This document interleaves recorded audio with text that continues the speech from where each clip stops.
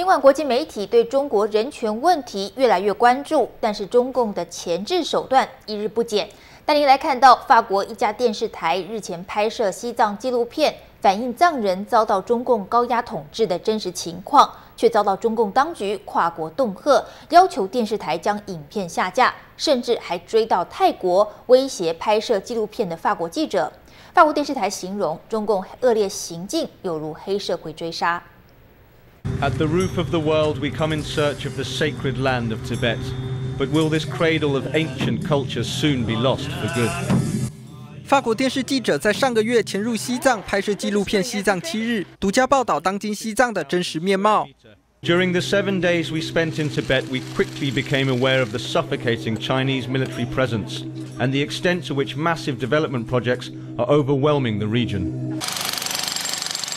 法国记者佩恩走访西藏，指出当地古老文化正在彻底遭到破坏，在藏人心目中神圣无比的佛寺正在被中共当局改建成大型的中央空调购物中心，同时把数以百计的居民赶出这个政治敏感地区，还留下来的藏人则是生活在严密的监控之下。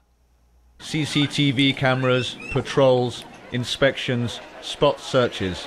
This is daily life for Tibetans now, prisoners in their own land. 佩恩指出，西藏的现况甚至比零八年北京奥运期间还要恶劣。回国受访时多次表示，在西藏的所见所闻非常令人震惊。And the, the very shocking fact was uh, even the most holiest, the most sacred temples, places like the Jokang of Lhasa, which is revered by all the Tibetan people, is just destroyed. 佩恩拍下中共军警背着灭火器巡逻的画面，指出短短三年，当地已经发生上百起藏人自焚事件，抗议中共压迫。Your report is bound to cause uh, a great deal of, of, of fuss. 不幸被严重。西藏七日纪录片播出后，中共官员亲赴电视台要求影片下架。中共外交体系甚至追到泰国，威胁在当地采访的记者佩恩。法国二十四电视台形容中共恶劣行径有如黑社会，也引发各界强烈谴责。